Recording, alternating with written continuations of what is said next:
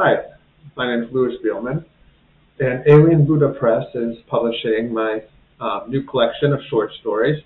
It's called uh, uh, The Lives of Animals, Modern Fairy Tales and Fablers, Fables. Um, just showing you the nice cover they put together.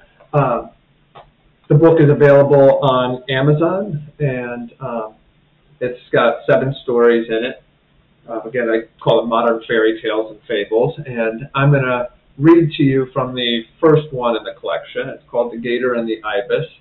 Um, it's a short story about 10 to 12 pages long. I'm going to read for about five, uh, five minutes or so. Uh, I hope you enjoy it. Um, so let's get started. Again, the book, the story is called The Gator and the Ibis. Back then, I used to escape to the Everglades. On my way to the old Aerojet Road on the outskirts of Homestead, I'd stop at the Robert is Here fruit stand, buy a mango shake and beef jerky, get back in my car, and dust past the corrections facility. It was the same routine every time. Since the Aerojet Road was gated to prevent people from driving in and looting the deserted rocket factory, I would park outside the gate and walk the road alongside the canal until I came to a narrow clearing a few hundred yards in. It didn't matter what, whether the air wobbled with humidity, mosquitoes attacked my extremities, or a swift winter breeze kicked at me from across Florida Bay. I was there any time of the year, whenever I felt the need to leave the concrete towers and gated neighborhoods of South Florida behind. Jack, at least that's how I knew him, seemed to sense when I was coming and would greet me immediately. As soon as he saw me move through the clearing and cut down the bank, I'd hear the crackle across the canal, see the sawgrass part, and catch him tumbling snout first into the water. Sunlight glistened on his back, and his rose-white teeth contrasted with his black eyes and gray scales as he swam toward me. Once he had crossed the canal, he'd use his stubby front legs to work his 12-foot body up the bank, and then splaying his front legs out, adjust them one after the other to turn his thick body around and sidle up beside me. He loved to tell variations on human jokes, and the first one I remember him telling me was a bad rip-off of a peanut joke. What happened to the flayed piece of beef when it wandered away from the cow, he said. I shrugged my shoulders. It got assaulted, he continued, laughing. Get it? Like a piece of beef jerky. That's how I got the idea to bring him beef jerky whenever I came to visit.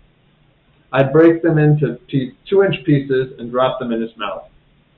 His jaw would, jaw would snap shut around the meat, and with the upper rows of his teeth exposed, he'd move his head up and down, open his mouth again, and wait for the next piece. Then, after I was through feeding him, he'd tell a story.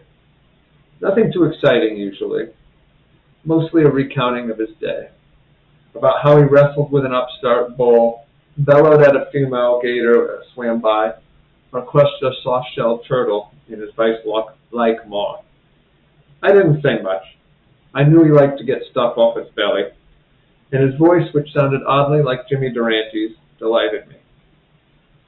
Plus, not wanting to dwell on my quotidian struggle, I had little to say about my day. If I were to contribute anything, I would bring a book along and read aloud to Jack. Over the year or so we spent together, I learned that he enjoyed the classics and felt an especial affinity for Shakespeare and lyric poetry. At some point last spring, however, Jack's stories began to change. Instead of his normal tales of alligator bravado, he told darker, more introspective tales about things like a tree island piled with alligator bones, a bull who devoured his young, and the many doomed lovers of the animal kingdom. It was the latter subject that got my attention. Otherwise, I would have thought Jack was merely worrying about the long-term effects of the recent drought on his habitat. But there was something else there. At first, I thought that a particularly ravishing alligator may have spurned his advances, but the way he talked about love and hopelessness made me think there was more to it. Then, one day in May, he asked me if I wanted to see the woman he loved. I told him sure and began to follow him. He splashed into the water, and I stepped ankle deep into the shallows of the canal shelf. As I slogged along, he slid his tail back and forth beneath the water's surface to propel himself forward and to stay close to the bank. He led the way south for about a hundred yards until he reached an area across from a patch of mangroves and stopped. Jack tilted his head and pointed his snout toward the opposite bank of the canal. You see her over there? he said.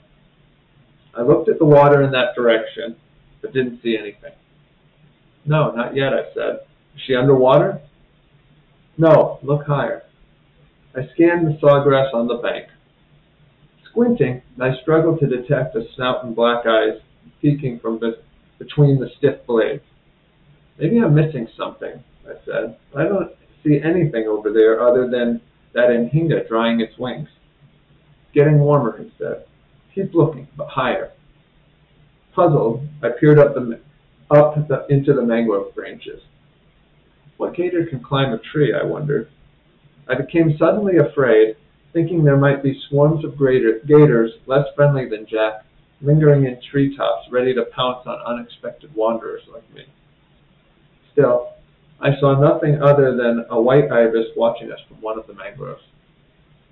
Jack, I don't see anything other than that ibis there, I said. Am I missing something? Jack looked at me forlornly, or as close to forlornly as an alligator can look. You see her then, he said. Isn't she beautiful? I'll leave it at that for, for now, and um, I hope you enjoyed the, the little taste there and um, would like to hear more. as I said before, the, the book is called The Lives of Animals, and it's available on Amazon. And if you want to read the rest of that story and a few more, uh, feel free to go there and purchase it. I believe it's um, available for $12.95. Uh, and thanks again to Alien Buddha Press for giving me this opportunity. 拜拜。